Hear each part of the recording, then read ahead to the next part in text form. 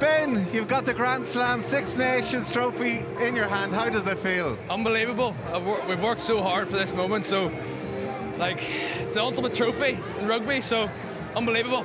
Jack, you were instrumental in that game as well. The two of you are so influential throughout this campaign.